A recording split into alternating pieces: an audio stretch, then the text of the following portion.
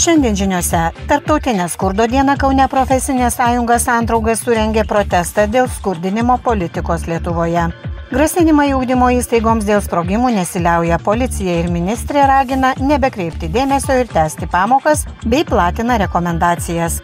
Lietuvoje bus remontuojami mūšiuose Ukrainoje pažeisti tankai Leopard.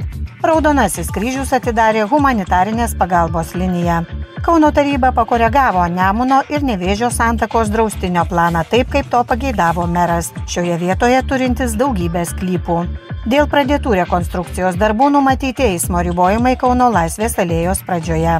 Vairuotojams aktuali naujovė Kaune ties vienu posūkiu įrengta automobilių slydimą mažinanti kelio danga. Atvėsus orams fiksuojama dvigubai daugiau gripo atvejų, auga ir bendras sergamumas. Ir europarlamentarus traukiniais netyčia nuvežė ne į Strasbūrą, o tiesiai į Disneylandą.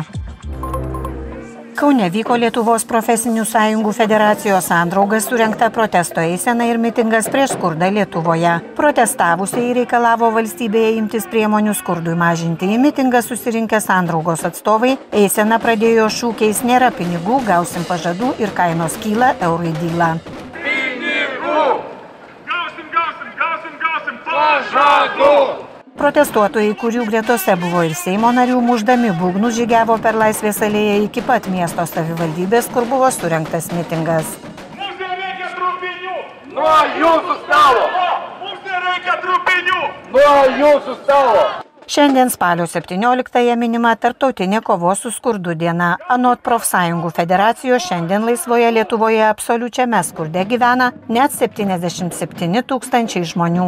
Labiausiai skursta 66 metų ir vyresnio amžiaus gyventojai, tačiau galo su galu jau nebesudūrė ir jaunos šeimos šiuo metu dėl beprotiškų nekilnojamojo turto kainų ir astronominių palūkanų, beveik neturinčios jokių galimybių mūsų šalyje apsirūpinti gyvenamojų būstų. Pasak Pasak eisenos organizatorių didžiausia įtaka tam turi valdžios neveiksnumas ir nekontroliuojamas bankų lupikavimas. Protestas surinktas ne sostinėje, o Kaune motivuojant, kad ne tik centrinė valdžia, bet ir savivaldybės turi daug galių mažinti skurdą, bet to nedaro. Protestą surengusių organizacijos atstovų teigimu, socialinės apsaugos ir darbo ministerijai teigiant, kad pragyvenimo lygis kyla, oficialus skurdo rizikos lygis pasiekė 20 procentų. Taigi paliečia kas penktą gyventoją, o ypač Ypač sudėtinga padėtis yra nuo didžiųjų miestų nutolusiuose rajonuose. Šiandien iki 10 val. ryto Lietuvos policija iš įvairių įstaigų gavo dar per tūkstantį pranešimų apie grasinimus dėl sprogimų. Pranešimai pradėti gauti maždaug nuo 2 val. nakties. Melagingiems pranešimams nesiliaujant, policija paruošė ir savivaldybėms išsiuntė naujas rekomendacijas, kaip reaguoti į šias pasikartojančias situacijas. Jų esmė - neskubėti evakuoti žmonių ir iš pradžių įvertinti situaciją. Buvo padidintas pranešimų kanalų skaičius, paskelbtas atskiras policijos numeris, norėčiau jį pakartoti, tai 8700 6000. Tai yra specialus kanalas, kur galima pasiskambinti ir gauti visą reikalingą informaciją, pasikonsultuoti su, su policijos e, pareigūnais, e, jeigu gaunamas toks grasinantis laiškas. Ir taip pat tai leidžia mums e, apsaugoti mūsų bendrojo pagalbos centrą nuo skambučių perkrovos. Saugumo užtikrinimo planas skydas šįryt buvo įvestas tik Vilniuje Santariškėse esančiame vaikų darželyje, kur ant stogo buvo pastebėta įtartinų paketų. Pirmadienio naktį Lietuvos policija ir pusantro tūkstančio adresatų buvo gavusi elektroninius laiškus su identišku tekstu, kad švietimo įstaigose, savivaldybių patalpose ir kitose viešose objektuose padėti sprogmenys ir įvyks sprogimai, grasinimai nepasitvirtino. Praėjusį penktadienį Lietuvoje buvo gauta apie 900 pranešimų apie neva užminuotus Lietuvos darželius ir mokyklas, visi jie buvo melagingi. Tokių pranešimų buvo ir savaitgali. Valstybės saugumo departamento teigimu tikėtina, jog tokie platinami pranešimai yra koordinuota ataka, kuri vykdoma priešiškų valstybių iniciatyva siekiant įbauginti visuomenę ir destabilizuoti padėtį šalyje. Tai, kas vyksta, tai yra organizuota kibernetinė ataka E, regiono mastu, nes e, ataką patiria ne tik mūsų valstybė, bet ir mūsų kaimynai. Tai yra informacinio karo prieš Lietuvą dalis ir siekis, kaip ir minėjau, yra destabilizuoti, e, sukelti paniką mūsų visuomenėje, mažinti pasitikėjimą mūsų e, valstybės institucijomis ir trikdyti tarnybų darbą.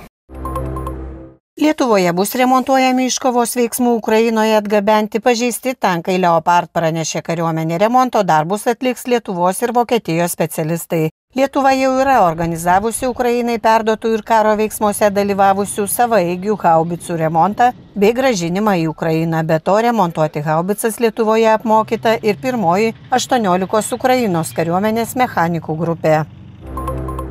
Lietuvos Raudonasis kryžius atidaro humanitarinės pagalbos liniją. Nuo šiol nutikus nelaimiai, dėl kurios prireikia humanitarinės pagalbos, daiktais ar drabužiais, konsultacijos, nakvynės, finansinės ar psichologinės pagalbos, Lietuvos gyventojai galės skambinti trumpuoju numeriu 111 ir sulaukti skubios savanorių ir darbuotojų pagalbos. Trumpasis humanitarinės pagalbos numeris 111 veiks visą parą visomis savaitės ir švenčių dienomis. Anot organizacijos humanitarinė pagalba atsižvelgianti situaciją bus suteikiama kaip įmanoma greičiau. Pagalba daiktais bus galima atsiimti patiems nurodytose humanitarinės pagalbos punktuose, o esant būtinybei daiktai bus pristatyti į reikiamą vietą.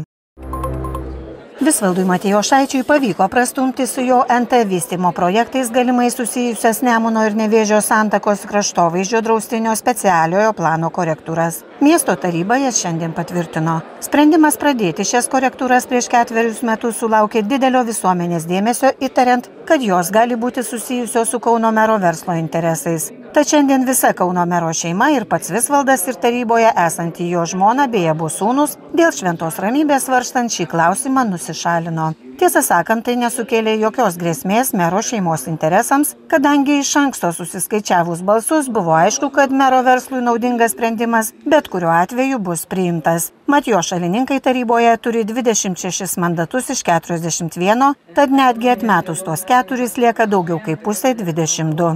Nemuno ir Nevėžio santakos kraštovaizdžio draustinis apima šių upių santaką ir slėnius. Į draustinio teritoriją patenka Lampedžių miško parkas. Lampedžių bendruomenė 2019-aisiais kreipėsi į prokuratūrą prašydama ištirti, ar priimant sprendimus dėl plano koregavimo nebuvo pažeisti teisės aktai, tačiau prokuratūra tyrimą pradėti atsisakė motivuodama, kad savivaldybė turi teisę renkti, keisti ar koreguoti kraštovaizdžio draustinių specialiuosius planus. Tuo metu LRT tyrimų skyrius yra skelbęs, jog draustinio planų koregavimas galėjo būti susijęs su Kauno mero verslo interesais, nes jo buferinėje zonoje bendrovė Vichy Investments, kurios vienintelis akcininkas, pats Kauno meras įsigijo žemės ir prieš pat tarybos sprendimą pradėti korekcijas užregistravo mažiausiai 15 sklypų. Vyriausioji tarnybinės etikos komisija tuomet konstatavo, kad Matijo Šaitis supainiojo interesus, kai balsavo, priimant šios jam naudingus sprendimus. Daugiausia pakeitimų plane atlikta dalyse numatančiose statybas, patikslinti dokumentai, pagal kuriuos nustatomas pastato aukštis. Dalyje žemutinių kaniukų gyvenvietės numatyta leisti naujų sublokuotų gyvenamųjų pastatų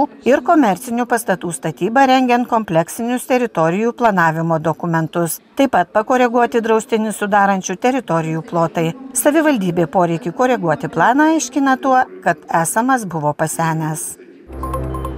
Kaune prasidėjo Laisvės alėjos atkarpos nuo Soboro iki Trakų gatvės rekonstrukcija. Šioje atkarpoje automobilius paliekantis vairuotojai kurį laiką turės naudotis kitomis parkavimo zonomis, o visus atvažiuojančius iš Vytauto prospekto ir Trakų bei Krievos gatvių pasitinka eismą draudžiantys ženklai. Pėsčiųjų judėjimui įrengti laikini praėjimai. Pasak savivaldybės bus frezuojamos senos dangos ir tvarkomi vandentekio, lietaus kanalizacijos tinklai bei kitos požeminės komunikacijos. Pėsčiųjų zonoje ir važiuojamojoje dalyje bus klojamas toks pat, kaip jau rekonstruotoje Laisvės alėjos dalyje granitinių plokščių grindinys, montuojami tokie patys šviestuvai ir kiti mažosios architektūros elementai. Savivaldybė informuoja, kad Liepo alėja išliks nepakitusi dėl ypač prastos būklės, ketinama pašalinti ir brandžiomis liepomis atsodinti du medžius. Lygiai grečiai suplanuota padidinti žalėją zoną. Darbus planuojama užbaigti 2025 pavasarį.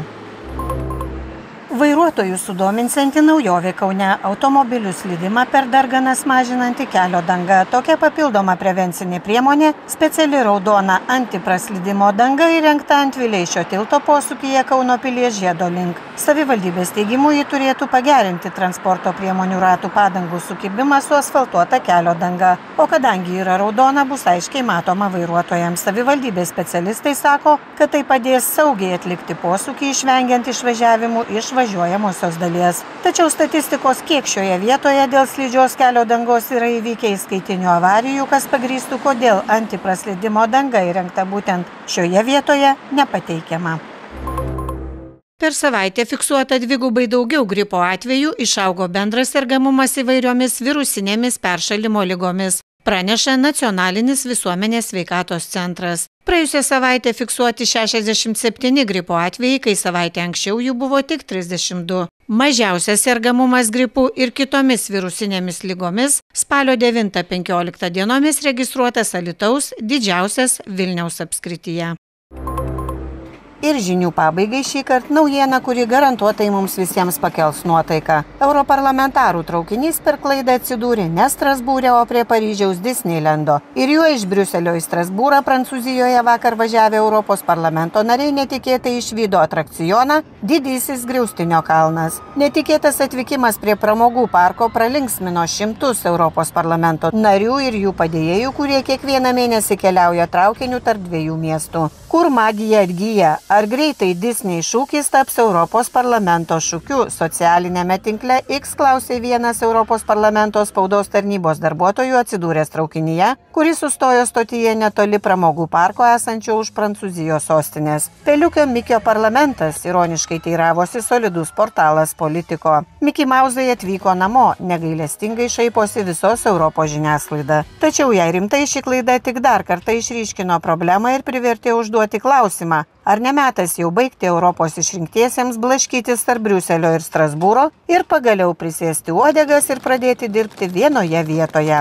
Jei Europos parlamentas visam laikui įsikurtų Briuselyje, galbūt šiame gigantiškame statinyje Strasbūre, iš ties galėtų įsikurti naujas Disneylandas. Socialiniuose tinkluose jau žarsto idėjas šmaikštuoliai internautai. Dar siūloma sukurti naują Disnėjaus filmą pagal tikrus įvykius apie parlamentą ir traukinį, kuris norėjo išvykti atostogų. Primename, kad pagal ES taisyklės Strasbūras esantis Prancūzijos rytuose netoli sienos su Vokietija yra oficiali Europos parlamento būstinė, nors didžioji dalis jo veiklos vyksta ne ten, o Briuselyje. Galiausiai traukinys su europarlamentarais vakar vis dėlto buvo nukreiptas atgal į teisingus greitųjų traukinių bėgius, vedančius į Strasbūrą.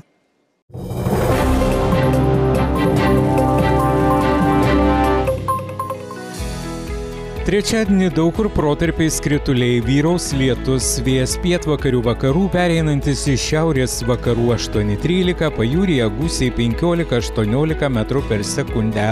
Oro temperatūra naktį 3-8, pajūryje 9-11 laipsnių šilumos.